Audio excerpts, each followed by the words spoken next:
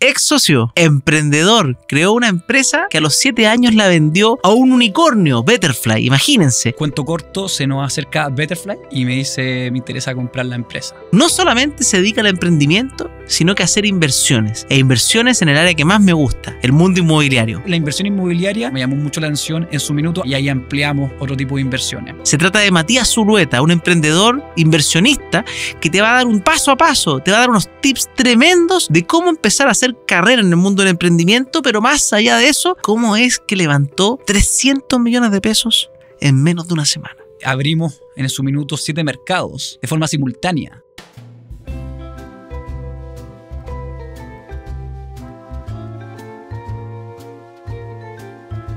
Hola, hola, ¿cómo están? Bienvenidos a un nuevo capítulo de Comperas y Finanzas.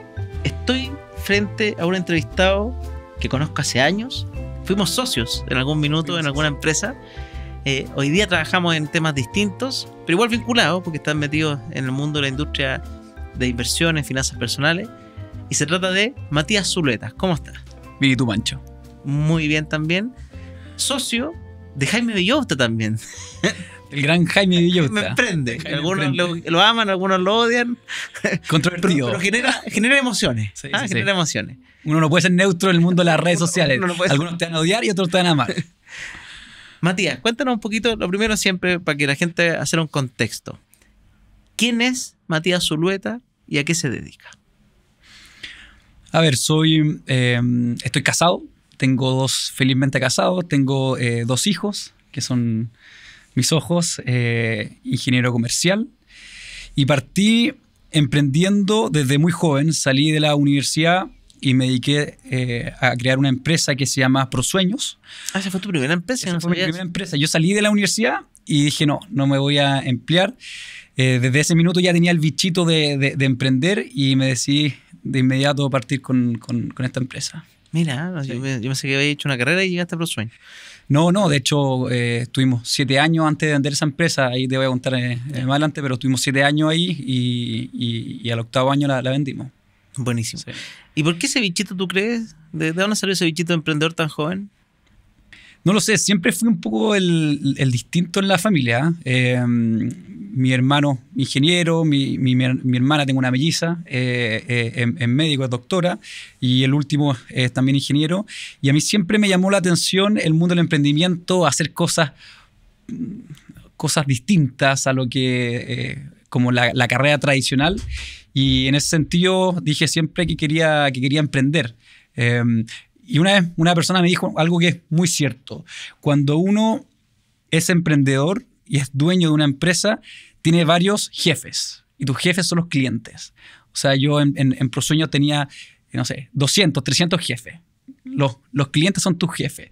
En cambio, cuando uno está, está, está empleado, uno tiene un jefe. Sí. Entonces, ¿qué es lo que es más fácil? ¿Que, que 300 jefes te despidan o que te despida un jefe? Es mucho más fácil que te despida un jefe. Por lo tanto, uno puede perder un cliente, pero bueno, tiene otros 299 clientes. Entonces, mm, y, y la verdad que siempre me llamó la atención el, el- el hacer cosas distintas. Mira, ¿y tus papás eran emprendedores? ¿Tie- ¿Tienen algo por ahí? ¿O ellos también siempre trabajando normal? Mi papá es agente de aduana, eh, es, es inde- es independiente, eh, pero no, yo creo que ninguno de los dos ha sido No, como muy... te agarró sí, nomás. es algo que me agarró eh, de tener esta, est- no sé, esta como libertad que sienten los, los emprendedores. ¿Fue Eh, así al principio o fue duro? fue, o sea, fue duro, fue súper duro. La gracia de emprender joven es que tu costo de oportunidad es bajo. Eh, no- en, el- ¿qué quiere en ese, en minuto no tenía, no tenía hijos, eh, no tenía que mantener una casa, seguía viviendo con, con mis papás, eh, que gracias a Dios me, ahí me, Te me- aguantaban. me aguantaban. Entonces, el costo de oportunidad es bajo. En cambio, cuando uno sale, no sé, a emprender a los 35, 40 años, chuta, ahí uno tiene, no sé, dos hijos, una familia, los colegios, los jardines. Entonces, es mucho más difícil dar ese paso. En cambio, en ese minuto eh, tenía un costo de oportunidad muy bajo. Fue difícil igual, eh, yo siempre, me- y siempre esto lo digo, pero mi sueldo en, en ese minuto eran 150 lucas eh, y eso fue por casi dos años.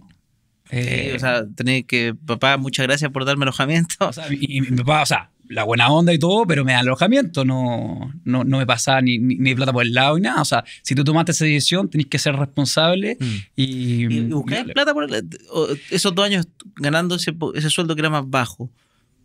¿Cómo nacía ahí? Porque uno dirá, oye, ¿se puede vivir con eso? No, eran otros tiempos. O Mm. tenía que hacer otras peguitas por el lado para tratar de complementar.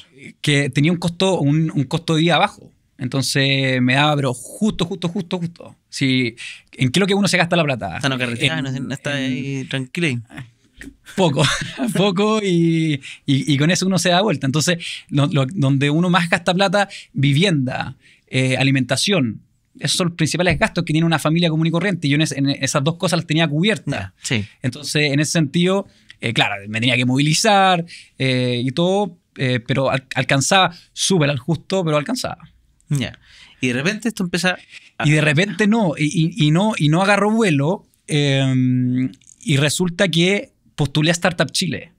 Ah, Y de hecho hay una historia bien, bien interesante. Yo ya estaba a punto de tirar la toalla. Eh, estaba, eh, me acuerdo perfecto, entrando al Duoc. Dije, ¿sabes qué? Ya llevo dos años, esta cuestión no da para más. Eh, y entrando al Duoca, ¿qué? a, a trabajar en la parte administrativa. Ah, ya, está buscando pega. Sí, sí, sí, buscando pega. No, ya, ya tenía pega. Ah, Ya, ya había ido a la entrevista, me habían, eh, me habían aceptado y todo. Y, mm, y de repente, el día que me iban a, hacer, a entregar la, la carta de oferta, Ya. ya, para, para cerrar el proceso, me llega la carta de, mm, de, Startup, de Startup Chile diciéndome que había quedado. ¿Qué significa quedar en Eh, Startup Chile? Significa que eh, uno tenía en ese minuto, no, no sé cuánto es el, el, el monto ahora, pero en ese minuto eran 25 millones de pesos que te inyectaban en tu negocio. Y y gratis, te lo regalan. Sí, e, el Estado. El Estado te, eh, a través de la, de- de la Corfo, te entrega este, este aporte que para en ese minuto fue, fue una salvación. Entonces ahí ya pasé de los 150 mil pesos, pasé, no sé, a un sueldo de 600 mil. Eh, porque obviamente eh, todos estos fondos de la Corfo te permiten pagarte un sueldo. Obviamente en un sueldo gigantesco, porque No, también la idea es hacer crecer el, sí, pues la idea es obviamente hacer crecer el negocio. Eh, entonces ya con eso fue un respiro eh, y, y me, permi- me- me permitió avanzar ahí en el, Pero en- en el también, emprendimiento. 600 mil pesos, yo me imagino, para algunos será mucho, unos pocos, pero alguien que estudió una carrera de ingeniería comercial, probablemente tus amigos estaban ganando más. Sí, claro. Y tú seguías Sí. en la camina ahí, la, la lucha del emprendedor. Sí, claro. Que yo conozco hartos emprendedores que, que al final es casi que es un, es un sacrificio enorme y después uno ve los resultados, por ahí son grandes, les va bien, pero al principio es como casi que, oye, ¿para qué esta tontera? Todo yéndole bien y tú ahí eh, jugando. O sea, definitivamente eras lejos el, el- el que ganaba menos de mi grupo amigo. Fue divertido porque cuando partí fui el que ganaba menos y llegué un minuto, no sé, no sé ahora, pero era de los que ganaba más. Entonces uno ahí se va moviendo. Hay, hay una variabilidad importante en términos de- de lucas cuando uno parte emprendiendo y cuando uno ya agarra un ritmo eh, que, que te permite tener un, un buen pasar. Me pasa. Sí. Entonces, ¿hay, qué- ¿a qué se dedica ProSueños? Pa- También para que la gente Sí, a ver, eh, ProSueño hicimos algo súper sencillo. Eh, nos metimos fuerte en el mundo de las gift cards. Eh, los retails, Cencosud, Falabella, Replay, eh, Cencosud, Walmart, todo esto tienen gift cards. Por lo tanto, ellos era- eran nuestros proveedores de gift cards y nosotros vendíamos estas gift cards a empresas. ¿ya? Éramos un reseller de gift cards. Ya. Y la parte de, de innovación que le pusimos es eh, un lado social. Eh, nosotros, obviamente, este retail, los retails nos daban un descuento. ¿ya? Por comprar, nosotros éramos un canal de venta para ellos, entonces nos daban, por ejemplo, un 10% de descuento. Un descuento eh, quiere decir que yo te voy a comprar una gift card de 25 mil Sí, para vender y tú, y tú me la dejas a mí en 20 mil. sí una, para ser más simple, una gift card de 100 a mí me vale 90. Ya. ¿ya? Entonces, ese era mi ingreso. Ya esos 10 que quedaban eran mi ingreso. Porque tú la vendías 100 al, al- a, la, a la empresa. Yo lo, lo- lo- lo- lo vendía al valor facial que se llama, que es Ya. 100. Ya. Entonces eh, se lo vendía a 100 a la empresa. Entonces ahí generaba eh, mi margen. Y la gracia es que pescamos ese descuento y lo partimos y dijimos, mira, una parte va a ir a una fundación que la empresa elija y la otra parte como, eh, como ingreso nuestro. que la empresa se La empre- o la no, empresa que te la compra? empresa que me compra. Ya. Entonces, yo no, yo no podía dirigir ese aporte a una fundación determinada, sino que era di- directamente la misma empresa la que elegía la fundación que quería ayudar. Entonces, la empresa le da exactamente lo mismo. De hecho, está muy contento y por eso crecimos eh, a los volúmenes que crecimos, eh, en vez de comprarle directamente al retail, iba, venía directamente a nosotros. Nosotros teníamos todos los retails, por lo tanto teníamos de alguna forma toda la oferta. en vez de ir a cotizar a, todas. Uno, venía directamente a nosotros. Aglomeramos nosotros la oferta. contigo puedo elegir Walmart, Cencosud, lo que yo quiera. Sí. Y además estoy donando. Y además no estoy donando. Además, gracias que le compro a Prosueños, puedo estar aportando a una fundación determinada. ¿Y de dónde sale ese aporte? De nuestro margen. Entonces la, fundación, la, empresa, encantada, o sea, aglomeran la, oferta y además generan un aporte a la fundación que como empresa elige. Y pasa mucho en Chile que hay, hay empresas que están relacionadas con fundaciones. Por lo tanto, no sé, eh, no sé, Coca-Cola ayuda a tal fundación. Listo. Entonces, la compra que hacía Coca-Cola iba en beneficio de esta fundación. Y Coca-Cola le da exactamente lo mismo porque compraba el valor facial. Si era una gift card de 100. gastar las 100 lucas igual, por igual tenía el presupuesto. Pero donando 5. Sí. O más donando comprando para que donen. Sí. sí. Entonces, generamos un modelo que fue sumamente. Em, interesante del punto de vista del modelo de negocio donde se genera un impacto social. Y eso a su vez hizo también que las fundaciones empezaran a tomar este como vehículo para ellos traer a su vez empresas que quisieran comprar gift cards y que le ayudaran obviamente a ellos. Entonces yo al mismo tiempo tenía un equipo comercial como freelancer que eran las fundaciones, que obviamente ellos también están interesados en que este modelo mi fundación. creciera y que obviamente las empresas eligieran a esa fundación. Eh, entonces, de esa forma crecimos muy rápidamente.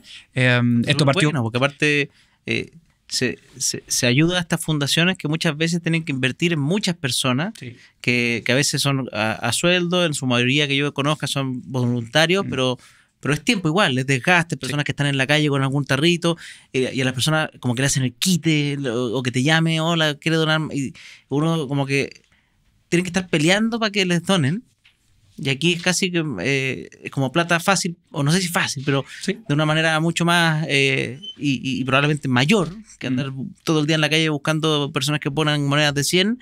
Una empresa que compre para todos sus trabajadores 200 gift cards de una. Sí. De hecho, esto parte porque en la universidad yo siempre estuve metido en temas sociales, en temas de fundaciones, y cuando salí dije, oye, ¿cómo podemos hacer? Y las fundaciones siempre dependen de personas, de patrimonio, siempre. Sí. ¿cómo hacer donan, ¿cómo generar un modelo, eh, un modelo que permita a las fundaciones eh, juntar reunir eh, dinero, pero sin necesariamente tener que salir a pedir que alguien se meta la mano al bolsillo. Eh, y ahí se nos ocurrió esta idea, después obviamente de iterar varias, varias cosas, se nos ocurrió esta idea eh, y la verdad que fue un, fue un tremendo éxito. Buenísimo. ¿Conocen la cuenta 2? Esta es una manera de invertir que es muy interesante. Son fondos con comisiones bajas. Esa es una de las gracias. Y están hace años. Solamente que ahora que está de moda la fintech con sus comisiones, uno empieza a mirar, oye, pero las AFP siempre te han cobrado poco si tú quieres invertir en los fondos que ellos invierten. Y aparte con la flexibilidad de sacar la plata cuando tú quieras, hasta 24 veces al año. O sea, tú inviertes donde están invirtiendo los grandes analistas, los grandes que hacen todo esto, lo puedes hacer tú por tu cuenta y sacarla cuando tú quieras. Es súper interesante y ahí AFP Habitat, que además está apoyando la educación financiera, apoyando el podcast con Pere Finanzas, tiene la opción de que tú lo hagas. ¿Qué mejor? ¿Cuáles son tus sueños, tus metas, tanto financieras como personales? Patrimor hace esto para ti no es una asesoría tradicional, sino que es un acompañamiento financiero mes a mes en el cual tienes un asesor a tu disposición que no solamente te ayuda en tus inversiones, sino que en tus planes, en salir de deudas, en tus ahorros, en tus vacaciones incluso, y básicamente te apoya como un guía en cómo ir planificando mejor financieramente tus próximos años de vida. Es increíble lo que han logrado, llevan más de 10 años asesorando con asesores certificados por la CMF.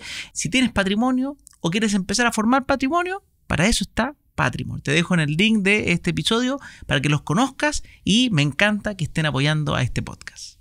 Entonces, eso fue Prosueño. Sí. Ah, pero antes de pasar a la pregunta en qué está hoy día, porque hay una parte muy interesante que quizá a muchos emprendedores les va a servir. Mm. Eh, ¿Tú hiciste, hiciste un exit acá? Eh, ¿Hubo algo interesante? En ¿Qué pasó? ¿En qué minuto de estos negocios vas a ser una empresa que está ahí tú metido full a que esto se convierte en algo más?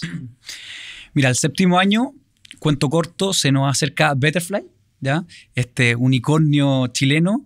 Eh, nos conocimos con Eduardo La Mayora y me dice, me interesa comprar la empresa. Eh, para ese entonces ya llevamos un nivel de facturación importante, cerca de los eh, 8 mil millones. Eh, ¿Al año? Al, al año, sí. Eh, Para que acá te, te hagáis una idea, nosotros con Prosueño logramos aportar alrededor de unos mil millones de pesos a fundaciones. O sea, el, el, el, impacto fue... Súper importante. Fue importante. Son mil millones que no tenían antes. No tenían las fundaciones. No, no, no existía es, es, esa forma de, de, de juntar eh, dinero. Entonces, bueno, y, y, ahí se acerca Eduardo y mm, haciendo el cuento sencillo, me dice, me interesa la, la empresa, me interesa la cultura, me interesa el propósito. Eh, conocimos lo que, junto a mis socios, conocimos lo que, lo, que hacía Betterfly, nos enamoramos rápidamente porque era una empresa relativamente similar en términos de cultura y en términos de propósito. O sea, no solamente buscar la rentabilidad por la rentabilidad, sino que buscar generar impacto medioambiental, impacto social. Eh, y eso siempre nos llamó mucho la atención de, de Betterfly. Hicimos match inmediatamente. Eh, Eduardo un gallo muy carismático, así que... Sí. Eh, eh. ¿Y cómo, cómo, cómo, es un proceso de compra? ¿Qué pasa? Porque también para el emprendedor ahí, listo, estoy feliz, me voy rico y famoso, eh, es un proceso, tú estás trabajando hoy día ahí. Sí. ¿Cómo funciona un proceso de una compra de una empresa? ¿Cuántos socios eran ustedes ahí? Éramos dos, éramos dos socios, sí. Éramos dos socios, no habíamos levantado capital, o sea, la, la empresa era 60% mía y 40% de, de, de, de, mi otro socio. A puro pulso, nunca, la, ah, excepto el, el, Startup Chile, pero que eso no, no, no te quita claro, equity. Entonces. Post driving se llama, cuando, cuando empiezan a levantar, eh, funcionan solamente con capitales propios. Eh, y, y, llega Eduardo y bueno, cerramos un trato. Eh, normalmente eh, los, los M&A, que son M&A, Merge and Acquisition, los procesos de compra, normalmente en startup se generan con dos cosas. Uno, con cash y lo otro con acciones. Eso es lo más común. Eh, hay, hay, casos que no, como eh, quizás pago fácil y otros, pero, pero cuando una startup más grande, una scale-up, compra otra, normalmente la combinación es acciones más eh, una parte que es efectivo, que es cash. Sí, es que aparte normalmente la, con acciones se ve mucho cuando una empresa relativamente nueva compra otra nueva. Mm Sí. Que, que, un banco te compre, es raro que el banco te dé sus acciones, eso es más curioso. Que por eso, en el, en el caso, por ejemplo, de pago fácil, sí, eh, es catch, claro, el vecino, le va a pasar acciones, a, no, no, tiene ningún sentido. Pero mm. cuando es startup comprando a otro startup, normalmente es una combinación entre acciones y, eh, y, y, y, catch, y dinero. Yeah. Y ahí parte el due diligence. Eh, que, que, es un proceso donde te investigan y, y, y, comprueban lo que tú estás diciendo es verdaderamente... Con 8 mil millones se cumple, sí. O sea, la no. Que la facturación exista, que los clientes no existan, porque uno puede llegar y decir, oye, ¿sabes qué? Es también empresa y uno puede falsificar, falsificar cosas. Entonces, para que ese proceso sea lo más transparente posible, se meten normalmente personas externas, consultoras externas, y hacen el due diligence, que, que es la... Investigar, básicamente. Investigar oye, efectivamente lo que están diciendo es cierto, eh, o sea, los clientes, como dije antes, y hacen una, una investigación que durará no sé, entre tres meses la más rápida, en algunos casos he escuchado que se demoran hasta ocho meses en hacer dependiendo del tamaño de la empresa. En el caso nuestro era una empresa súper sencilla. Eh, nosotros compramos y vendíamos gift cards. O sea, desde el punto de vista operativo era, era sencilla, quizá algo un poquito más complejo con, con esta fundación que hicimos entre medio para generar los aportes, pero bueno, el, el tema es que eh, eso, eso, eso avanza, eh, sale todo bien. Y, y, otra de las cosas que también hacen mucho las eh, startups que compran a otro es que te piden quedarte un tiempo. En el caso mío, yo me quedé tres años trabajando en, en Betterfly. Fue todo un desafío ser emprendedor después de ser empleado. Sí, eh, ahora tenéis un jefe nuevamente. Ahora tenía, de hecho, ahora tenía un jefe por, por primera vez. Sí, Entonces, eso, eso, eso, fue súper eh, desafiante, muy interesante. Me ayudó mucho porque había estado, si bien me encantaba el mundo del startup, había estado en una startup de 12 personas y me salté a una startup de 600 personas en ese minuto. Entonces, eh, es más que una startup, es una scale-up. ¿eh? Entonces, eh, me sirvió mucho para aprender cómo son las fases después de los levantamientos de eh, capitales. ¿ya? nosotros nunca habíamos levantado capital. Cuando yo llegué, Betterfly está levantando capital eh, la serie B y después inmediatamente la serie C. Por lo tanto, me ayudó mucho a entender globalmente cómo, cómo crecen los startups, cómo formar equipos cuando uno tiene mucho capital. En la última serie de, de, de Betterfly fueron 125 millones de dólares. Muchísima plata. Es mucha plata. Es mucha plata, más todavía para un startup Tenés chileno. Como no quemarla, pero ocuparla, porque la plata es para ocuparla, no es para que la tengáis en, un- en una cuenta. Y ya tenés toda una estructura. Entonces ya, ya no eres tú el que toma la decisión, sino que es el que contrataste y a su vez el que, el que contrató ese que contrataste. Entonces que Entonces uno empieza a perder. Asignar presupuesto. asignar presupuesto, entonces uno empieza a perder ese control que uno tiene en, en las etapas iniciales. Eh, entonces, esto, esa lógica, eh, abrimos en su minuto siete, siete mercados Qué entretenido. de forma simultánea. ¿Te imagináis eso, no? No, no, o sea, es, no, es una, es una locura, es una locura. Eh, me tocó viajar, entonces fue, fue bien interesante, me ayudó bastante, yo diría para esta etapa en la que, en la que estoy ahora, Y que dijiste, volví no, a... seguir cuando pasaron los, los años. No, o sea, pasaron tres años eh, y, y me junté con Eduardo La Mayora y le dije, oye Eduardo, mira, esto no es lo mío, yo ya hice el traspaso, lo hice súper ordenado, mi proceso de salida duró más o menos seis meses, o sea, tuve, desde que le dije hasta que me fui, más o menos pasaron seis meses. Entonces, mm, le dije, Eduardo, lo mío es emprender, siempre ha sido emprender y no me veo aquí por mucho tiempo más. Y de hecho fue gracias a una charla que dio Eduardo que yo me cuestioné esto y dije, no, sabéis que esto no, no es lo mío, lo mío es seguir haciendo empresas, eh, negocios y lo hablé y él es un emprendedor innato, entonces lo Pues entendió, sí. lo entendió muy rápido y planificamos la salida y, y eso. Y terminamos en las mejores de la...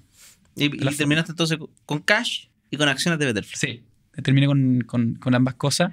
Este, este, este efectivo lo he usado para, para emprender de nuevo. Lo he ocupado para, para, para invertir, yo diría. Y de hecho... A preguntarte eso también. Sí, y de hecho, eh, acuérdate que antes de, antes de, mm, de vender la empresa Betterfly, creamos otras cosas, entre ellas el, el- el- el challenge eh, inmobiliario. Y en ese entonces, antes de vender la empresa Betterfly, me llamó mucho la atención el mundo inmobiliario. Y desde entonces, hasta que salí de Betterfly y hasta ahora, he estado metido en el mundo eh, inmobiliario de distintas formas, pero he estado metido... ¿Te eh, gustó el mundo inmobiliario? el mundo inmobiliario. más me gusta a mí. Sí, el mundo, a ver, el, el mundo inmobiliario eh, me gustó por, por dos principales cosas. Primero, por la simpleza. Eh, no sé si te, te pasa a ti, y, y esto lo vimos nosotros en The Power Challenge, donde teníamos cursos, ¿te acordáis?, de distintos temas, pero para mí la inversión inmobiliaria es lejos la inversión más sencilla de entender. Es muy sencillo. Es muy sencilla. O sea, Tú compré una casa, la arregláis, la vendí, tú compráis la rentáis. compré un paño, construí un edificio, lo vendes. Eh, o compráis un departamento, lo arriendas. Súper sencillo, a prueba de cualquier persona. Entonces, la simpleza siempre me llamó mucho la atención. Y lo segundo que me llamó la atención eh, fue el, el tema de las rentabilidades. O sea, eh, también en- no, no, no- sí, no, no, no es secreto para nadie que el mundo inmobiliario es lejos donde hay mayores fortunas en, en- en- en el mundo. Eh, tampoco es noticia para nadie que lo- las principales fortunas de Chile y del mundo invierten principalmente sus capitales en el mundo inmobiliario. Sí. A, tra- a través de distintos vehículos, como uno quiera, pero sí están metidas en el mundo inmobiliario. Porque el mundo inmobiliario entrega algo que es difícil encontrar en el mundo de las inversiones, que son garantías. Yo invierto en ladrillos, en terrenos, entonces esa garantía, y, y no- y obviamente no se, de- no se deprecian. Pueden haber Pueden casos- haber casos, Ah, pero lo normal es que no se desprecian. Mm. Eh, eh, existe el tema la... que se puede ir a cero. Sí, lógico. Ah, o sea, claro. tú inviertes en una startup oye, y no le fue bien. ¿A quién le va a ir a alegar No, por no, el, el riesgo que, el riesgo que corre? En cambio, la inversión inmobiliaria no pasa eso, porque hay una garantía real. Mm. Eh, y eso es sumamente interesante y me llamó, me llamó mucho la atención. En su minuto antes, ni siquiera de hablar con Betterfly, ya me llamó la atención y por eso hicimos en, en pandemia todo el tema de- del challenge inmobiliario que después se transformó en The Power Challenge eh, y ahí ampliamos eh, a otro, otro tipo de inversiones. Si algún ex alumno de The Power Challenge, el socio que estaba por detrás, Sí, claro. aquí haciendo todo tras bambalinas. De, de hecho, la otra vez conversando con Lucas Galán, ¿Ya? Lucas con Lucas, eh, y, y yo, yo no, no tenía idea. La primera generación fue, la primera. fue, fue con Seibo. siempre he dicho que le motivó, él ya estaba haciendo su negocio, pero se profesionalizó Sí. más Gracias al challenge inmobiliario. De hecho, la otra vez estaba viendo algo en mi computador y me apareció una hoja de testimonios y me apareció Luca. Le mandé un pantallazo y le dije, esta- no tenía idea, yo no tenía idea. Imagínate, ¿cómo voy a acordar los primeros gallos? porque Era un, un- un cliente, en el Sí, fondo. po. Así que, mm, eh, bueno, desde ese entonces, antes de vender la empresa Betterfly, eh, ya me interesó el mundo inmobiliario eh, por, por, por, los, por los puntos que te, te dije. Buenísimo.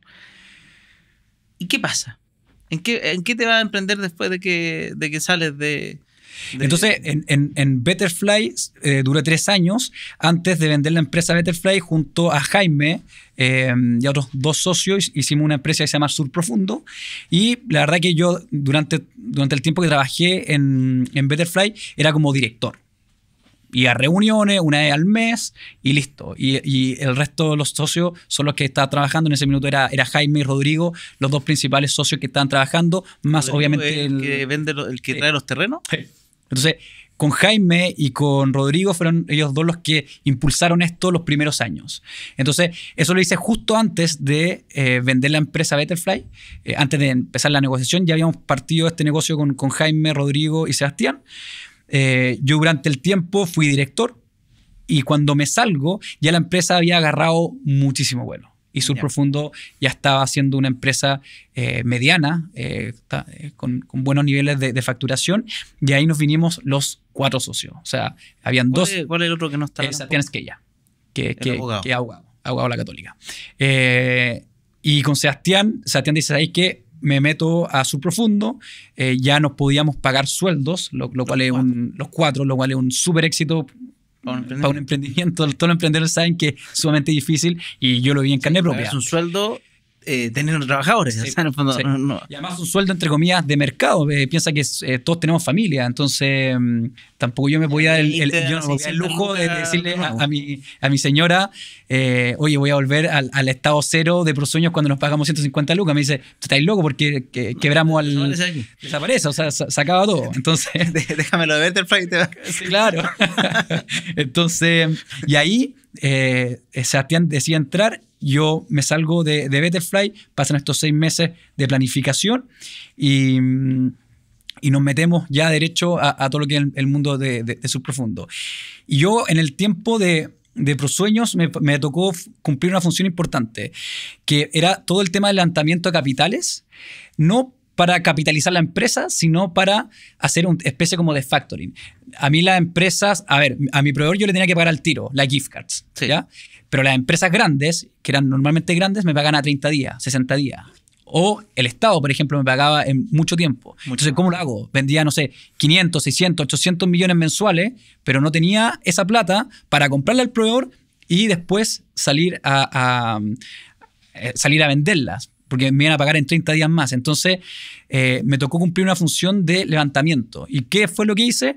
Lo que hace cualquier emprendedor, salir a buscar entre sus amigos eh, y familiares, Préstame oye, plata plata y y, en 30 pago días más te lo, de- te lo devuelvo y te pago un, un interés. interés. Entonces, me tocó hacer esa función eh, en su minuto. Logramos levantar, no sé, alrededor de mil, mil quinientos millones de pesos. Y normalmente Eh, se hace capitales privados porque si lo sí, haces claro. público te, te dan a pedir mil cosas. Y el factoring era muy caro. El negocio de las gift cards era un negocio de márgenes muy chiquititos. Que era el 10% y 5 y 5 además. O sea, tú con ese Sí. 5 tenías que sobrevivir. Sí.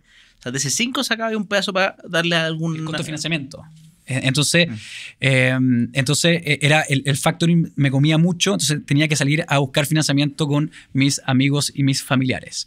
Eh, y entonces desarrollé esa habilidad de, de levantar capitales para mi empresa en ese minuto. Entonces, cuando me salgo de Betterfly, entro a Sur Profundo.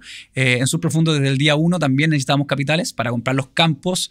En ese minuto, nosotros hacíamos la subdivisión. Actualmente no lo hacemos, pero comprar el campo, subdividirlo y venderlo, necesitamos, obviamente, capitales para comprar el terreno. El, campo. Y mm, entonces también en ese minuto me tocó mucho salir a buscar a estos mismos inversionistas eh, que me, me pusieran plata para comprar los campos. Y cuando me salgo de Betterfly, me dicen, ya, perfecto, perfecto, estamos creciendo, necesitamos más capital. Entonces dije, ya, perfecto, yo me salgo, pero lo que voy a hacer es que voy a transformar esta área de levantamiento de, de- de capitales lo voy a transformar en una plataforma. Una cuestión que ya no sea de los amigos. ¿no? No, no sea los amigos, necesitamos ampliar estos círculos, eh, necesitamos, eh, ya vemos, ya, ya, ya, ya entendimos que funciona el modelo, eh, que sabemos hacer el negocio en el cual estamos. Yo creo que ya llegó el minuto de abrir el círculo y ahí es donde creamos eh, esta empresa que se llama Somos Rentables. ¿ya? Perfecto. A mí me ofrecieron meter plata y yo fui de los que me negué porque pensé que no tenían experiencia. Y Te- tú te perdiste buena, buena oportunidad, Pancho, porque esos, esos primeros inversionistas UFM eh, 50. sí, Están dando. sí, eh, son, son, son, locura. son rentabilidades que No, ya no se ya pueden no dar, podemos, ya no podemos, sí. por dos motivos. Ha cambiado mucho el, el- el mercado eh, y segundo, efectivamente, el riesgo que ocurrieron esas personas al principio fue mucho más alto porque no obvio, teníamos la experiencia, entonces había que pagar el, el noviciado. Era solamente confiar. eh, y fueron, Yo fueron- mantenerme, preferí mantenerme en Bitcoin sí. cuando estaba como en 60. Eh, Ojo, hoy día uno lo ve en 60 también, pero fue para la época que bajó a 14. ¿ah? Sí. Entonces, yo- me ofrecieron acá invertir y dije, no, no te creo. era, era eh, con, con Matías, con, con Jaime, los dos me dicen, pero Pancho, si lo vamos a hacer bien, dije, no, prefiero mantenerme acá en, en mi Bitcoin. Y, Sí. y Bitcoin 50, 40, 30. y dije, por la... Y ahí me salí, me salí como en 34. Yo había comprado como a 18, Ya. igual gané. Pero pucha que me dio No, y esos primeros inversionistas estaban vueltos locos. Oh, y Eh, o pagaron sea, antes de tiempo, creo, ¿no? pagamos antes de tiempo, cumplimos todo. O sea, me, me llamaron. Eh, de hecho, fueron inversionistas bastante eh, avanzados eh, que, que- que tomaron esta, mm, est- esta inversión y me llamaron al final y me dijeron, o sea, esto es único. O sea, que hayan cumplido los plazos en, en tiempo y en forma es realmente impresionante. Que aparte, Eh, normalmente un gallo, un, un gallo que ya lleva tiempo en la industria inmobiliaria, eh, no todos, siempre hay que no generalizar, pero muchos, si tienen capitales eh, y lo logran antes de tiempo, simplemente cumplen con lo que prometieron y aprovechan esa plata para hacer otras cosas mientras Sí. hasta que cumplan con lo que prometieron, Sí, porque saben ocupar la plata. sí. En vez de ustedes dijeron, no sabes qué, ya tenemos la plata, paguemos al tiro. Sí, no, yo creo que hay que ser súper responsable cuando tenemos platas de terceros Sí. eh, y no tentarse en ocupar la caja para otro tipo de cosas, porque ahí es donde quedan los desórdenes, ahí es donde la bicicleta te agarra. Entonces, somos bien eh, conscientes y bien responsables en ese tipo de cosas. De hecho, legalmente armamos los negocios para que nosotros no podamos tocar esa caja y reinvertirla en otros negocios que después nos resulten y, y los inversionistas pierdan. Entonces, eh, hay que ser sumamente responsable. Eso lo aprendí el día uno cuando levantaba plata para Prosueño porque mm, uno está jugando con plata de jubilación, está jugando, eh, jugando con plata eh, de que el, el único sustento que en algunos Sí. casos tienen en caso de emergencia, entonces hay que ser sumamente eh, cuidadosos y responsables con, con eso. Tu plata, haz lo que tú quieras, pero con plata de tercero, no. ¿Qué hace Somos Rentables? Y ahí te voy a empezar a preguntar también sobre esa industria. Mira, somos rentables, eh, como dije, es, eh, es una empresa hermana de, de Sur Profundo, somos exactamente los mismos socios con la misma participación y lo que hicimos fue un crowdfunding. Un crowdfunding un poco distinto, un poco distinto por, por- por tres principales motivos. Uno, porque es un crowdfunding enfocado en inversionistas medianos. Eso quiere decir inversionistas que están dispuestos a invertir desde 15 millones de pesos. ¿ya? Yo he tenido en, esta- en ese sillón he tenido, y en el anterior, que cambiamos de mobiliario, he tenido, yo creo que a todos los crowdfunding inmobiliarios del país. He Sí. tenido a Fraccional, a Lares, a Reiti, y no sé si, no, esos eh, no son todos, pero los, yo diría los tres más grandotes hoy día, y ahora somos rentables. Sí. Entonces, monto desde 15 millones, eso ya es distinto, Sí, porque eso- eso- que todos democratizan a las 100 lucas. Sí. Sí, no, no, nos- nosotros nos estamos enfocando en un segmento y de hecho en la medida que salen más crowdfunding o, o- o se empieza a complejizar el, el- el mercado, yo creo que empiezan a salir estas soluciones. Pero el punto es que este es un eh, crowdfunding en- eh, enfocado en el mediano inversionista. De hecho, queremos ser la primera comunidad de inversionistas medianos en Chile. Eh, as- así, le, así le hemos puesto. Con Betterplan. Betterplan busca Sí, 10 pero Better Plan está más en digitalizar el, el negocio de los, de los family office. Sí. En- Entonces, eh, eh, es un, es un- un tanto distinto. Pero sí es un segmento relativamente similar, diría yo. Eh, segundo, nosotros coinvertimos. ¿ya? Nuestro negocio ¿Que ustedes invierten? que nosotros invertimos. Ya. ¿ya? Por lo tanto, nuestro negocio principal no está en el crowdfunding, no está en el levantamiento de plata, que eso también es distinto. La gran mayoría de los, de los crowdfunding, su negocio está en levantar capital. Sí. ¿ya? El negocio nuestro no está ahí, porque nosotros y, y tiene que ver con el tercer punto, nosotros estamos eh, en este minuto 100% enfocados en proyectos propios. Entonces, coin- o sea, eh, inversionista mediano, 15 millones de pesos. Después nosotros coinvertimos, ¿ya? Nos subimos al mismo barco, eh, corremos, corremos de alguna forma los mismos riesgos. Y tercero, son proyectos únicamente de sur profundo. Eso me permite tener una visualización y una transparencia completa de en qué va el proyecto. Entonces no tengo que estar preguntando a un tercero que me puede decir, oye, no, lo que pasa es... No, No, no, no, no levantas plata para. no, no levanto plata para un tercero, para- no. Eh, entonces, Esto tengo, pro y contra siempre, pero. pero en tengo, un, caso, tengo tú- un nivel de control y, y puedo, y, y puedo transparentar muchas de las cosas que si no, no podría. ¿Ya? Entonces, esas son, esas son las tres cosas, yo diría, que diferencian a Somos Rentables frente a los otros, eh, eh, los otros crowdfunding del, de- del país, que a algunos a fracción los conocemos y Sí. a, a varios, a varios ahí los, los conocemos. El área un poco hace eso también, con- pero con algunos proyectos. Algunos son de ellos 100%, otros son de terceros. Tienen un mix. de- Sí, sí. Está súper interesante. ¿Y, y cuánto y cómo funciona un crowdfunding? Pa- pa- también para las personas que no entienden. Eh, y hoy día se está regulando además. Sí. Entonces eso me gusta mucho porque va a, dar, va a darle un velo de confianza Mm. a una industria que siempre ha sido súper, no decir que informal, porque son súper formales. Mm. Pero como cuando las personas dicen, oye, aquí no está la CMF, yo no le creo. Sí, Ah, y suena como que voy a prestar plata y voy a desaparecer. sí. Entonces, pero ¿cómo funciona en, en lo legal, en la estructura? Yo te paso, por ejemplo, oye, eh, ya, 15 millones, pero ¿a qué voy con esos Sí. 15 millones? Ya, a ver, pa- partir diciendo que el, el- el crowdfunding principalmente es, juntamos gente, que esto se ha hecho, los crowdfunding existen, no con ese nombre, pero existen desde mucho tiempo. Por ejemplo, cuando uno construye un edificio, uno lo que hace es El darse vuelta sí. y hacer un crowdfunding informal. O sea, le dice a mucha gente eh, que tiene muchas lucas, le dice, oye, voy a hacer un edificio y necesito inversionistas. Sí, y uno te pone, no sé, sí, 200 pues, millones, el otro te pone 500 millones, el otro pone 600 millones, y así siempre han funcionado los negocios, siempre. Y el mundo inmobiliario, que son, es un negocio de capitales, o sea, es un negocio que uno necesita mucho capital, siempre ha funcionado así. La gran diferencia es que con la tecnología y las redes sociales, yo ahora puedo juntar gente con tickets más bajos, porque hace 10, 15 años atrás, eh, hacer un edificio no me salía a cuenta ir a buscar las personas de 15 millones, 20 No. millones, porque me, cuesta, me costaba mucho llegar a ellos, convencerlos. Ahora, la frase lo mismo de siempre. Lo mismo de Era, siempre. Yo hacía una inmobiliaria y le terminaba y uno se enojaba a la gente que tenía menos recursos. Pero, ¿Y por qué no invitan a otros? No, pues porque ellos preferían llamar a sus mismos 10 amigos millonarios sí, porque sabían que iban a poner la plata, no iban a andar cuestionando todo todo el día porque eran los mismos de siempre. Entonces Sí. era como un club de Toby por inmobiliaria que salían a pedirle la plata para proyectos. Y, y- y siempre. en- Lógico, y- era- era, era lo más fácil, si no, no es porque son malos, No, no. eh, es porque es lo más fácil salir a buscar a gente conocida y que ya te ha puesto plata. Sí. Entonces, eso ya se hacía y se hace hace mucho tiempo. La diferencia es que ahora con la tecnología y las redes sociales es que podemos llegar a tickets más bajos, desde, en el caso nuestro, desde 15 millones de pesos. Entonces, agrupamos a gente para comprar, por ejemplo, un terreno eh, que ya está subdividido y venderlo. Entonces, son como socios capitalistas, inversionistas, de alguna forma. Y ahí, ¿cómo se defiende una persona en un, en un crowdfunding normal? Yo, ¿Cuáles son mis garantías? Que tú hablaste de Mm. Las garantías del mundo inmobiliario. Yo, yo como inversionista, ¿cuáles son mis garantías en un crowdfunding? Sí. Mira, hay dos modelos y no me quiero poner técnico, pero hay un crowdfunding y un crowdlending. ¿ya? Eh, uno, eh, uno es, uno va 100% a riesgo del negocio, como podría ser un fraccional. De hecho, nosotros también tenemos proyectos que son propiamente crowdfunding y otros que son crowdlending. Crowdlending es cuando eh, yo voy a buscar capitales a cambio de una rentabilidad establecida, conocida.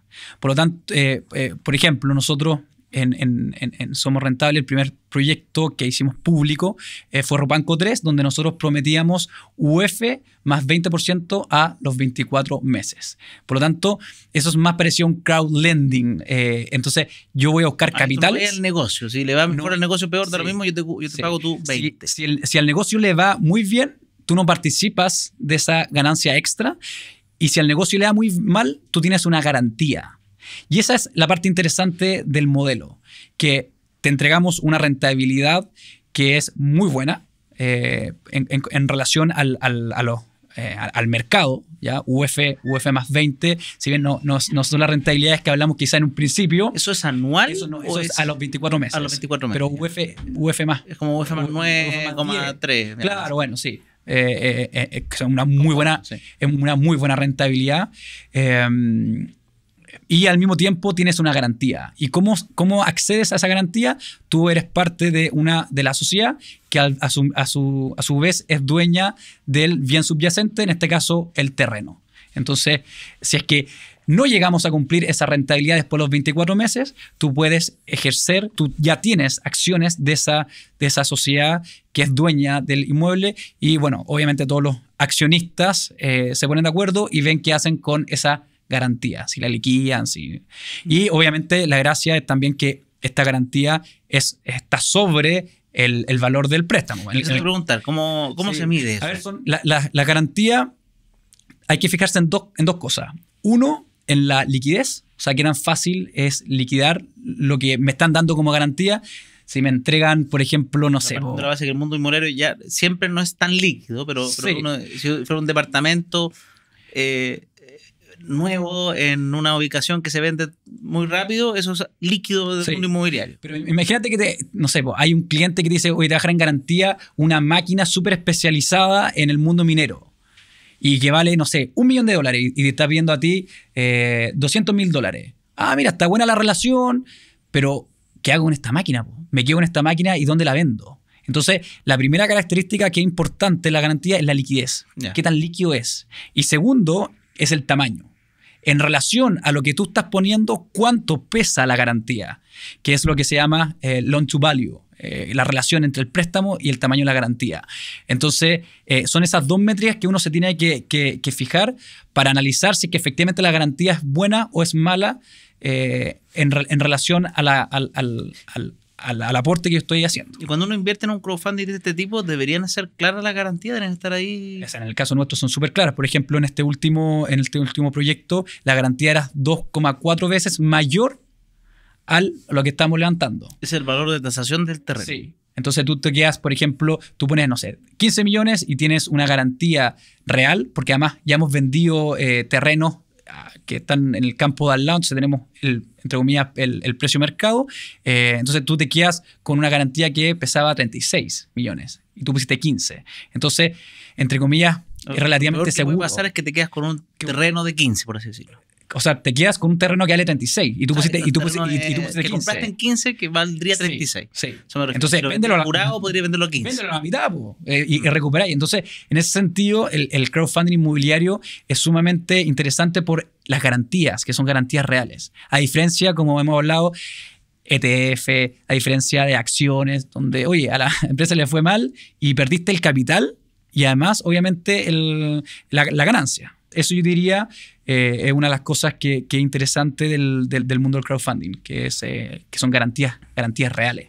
Ya, entonces está el tema de, eh, uno, diversificar y llegar a, a inversionistas medianos con el Mm. mundo inmobiliario con un ticket determinado una- y una rentabilidad interesante para, Sí. esta, para esta industria. ¿Se paga siempre al final o se paga mensual? ¿Cómo funciona en los crowdfunding en general? ¿O depende? Podría- depende cómo uno lo estructure. En el caso nuestro, al final. Pero no quita que en el futuro vayamos a hacer pagos eh, mensual y cosas por el estilo. Pero normalmente son. Son proyecto. Pues si un sí. departamento que está arrendado probablemente tiene renta, si un Sí. terreno que se va a construir en 12 años. sí. Eh, en ese No sentido, hay. los crowdfunding son, eh, excepto que hay en mercados secundarios, pero son, son inversiones poco líquidas, a diferencia de un depósito a plazo. Pero son rentabilidades que son 10 veces más que un depósito a plazo. Mm. Eh, literal, más todavía hoy día. Hoy día, ¿cuánto te renta un depósito a plazo? UF con suerte a veces. UF con suerte. Hay, hay algunos que están rentando menos hoy que la UF. Sí. Entonces, eh, y aquí estamos hablando anual, estamos hablando UF más 10. O sea, en algunos casos 10 veces lo que te renta un, un- un depósito a plazo. Muy distintos, son, son instrumentos distintos, eso hay que ser sumamente claro. Menos líquido. eh, aquí hay una garantía real, por lo tanto el riesgo no es altísimo, pero en el caso del depósito a plazo, Cero riesgo, sino- en, en el caso del depósito a plazo, eh, de- depósito a plazo uno tiene garantías estatales y además la, la solvencia de la institución financiera, si un banco o, o lo que sea. Entonces, obviamente los depósitos a plazo son menos riesgosos, pero aquí igual hay garantías que son, que son, que, que son buenas. Eh, entonces, en ese sentido, efectivamente, el crowdfunding te entrega garantías reales. Dos, como uno está metido en el mundo inmobiliario, estás protegido de la inflación. Y tres, accedes a un mercado que antiguamente estaba solamente destinado para las grandes fortunas, por lo que hablamos antes. Entonces son esas tres características que hacen que la inversión en, en proyectos de crowdfunding sea sumamente interesante. Última pregunta tengo. Tú dijiste que has invertido en propiedades tú. Sí. También has invertido en crowdfunding. Sí. De hecho, los socios de, de, de, Superfundo somos los principales eh, inversionistas también de, Somos Rentables. Eh, obvio, eh, es súper evidente. Como, personalmente soy como el, el, el buyer persona, soy el, el avatar que, que, estamos buscando, una persona que tenga buenos ahorros. entonces, yo mismo soy un, un buyer persona que invierte sus eh, sus ahorros en, el crowdfunding. ¿Por qué, por ejemplo, pasar de inversión apalancada, como es el caso de la inversión inmobiliaria tradicional, a un crowdfunding? ¿Cómo, cómo lo viviste tú? ¿Por qué pasar de tener departamento a de repente decir quiero invertir 20 millones de pesos eh, en un pedacito de una propiedad o de un proyecto? Sí, son, son, son, son varias cosas, pero eh, de partida tiene que ver con el horizonte de inversión. Eh, cuando uno invierte en un departamento que yo tengo, tengo lo típico, los dos de FL2, em, eh, tengo también oficinas, eh, uno invierte en el largo plazo, ¿ya? excepto que uno encuentre una oportunidad, pero uno normalmente lo deja ahí para que se paguen solo, etc. Em, y segundo, es por las rentabilidades. O sea, es difícil sacarle a un, a, a un departamento UF más 10 anual. Entonces, en este caso, en este crowdfunding, a diferencia, por, ejemplo, del fraccional que tú inviertes en un pedacito de, tu, de, un departamento, aquí inviertes en un pedacito, pero vas como inversionista. Vas a una rentabilidad. Entonces, está tanto. Yo creo que al final todos los crowdfunding van a empezar a agarrar de a poco un poquito de todo. Yo también creo. Yo también creo que va a pasar eso. Entonces, eh, en, ese, en este caso, uno va como como socio inversionista. Pasivo, sí, porque uno no, tiene que hacer nada, pero uno va al negocio. ¿Ya? Eh, y esas rentabilidades no son tan sencillas de encontrar en el mundo inmobiliario en el corto plazo. Piensa que nuestro proyecto, el proyecto que dura menos, dura 12 meses y el que dura más 48. Entonces, son corto plazo, mediano plazo, no son de largo plazo uno puede entrar y salir y con todo lo que significa el, interés, el interés compuesto va al final eh, multiplicando mucho más rápido. Entonces, eso, eso, eso, eso, es lo que me, me llevó a mí eh, invertir gran parte de mi capital en el crowdfunding. Buenísimo. Oye, ya pues Matías, con eso estoy listo con las preguntas que tenía. Eh, muchas gracias por participar. Gracias a ti, Mancho. Y le digo al tiro a todos los que nos están viendo, recuerden dejar en los comentarios si les gustó este capítulo, si les gusta más el mundo del crowdfunding para invitar a otros. Ya me acordé de algunas marcas, Equity Builder, todavía no conozco, conozco al dueño, pero no lo he invitado, así que tengo para, para seguir invitando personas si les gusta el mundo del crowdfunding, especialmente el inmobiliario, que a mí me encanta. Y muchas gracias por participar. Gracias a ti, encantado de estar acá.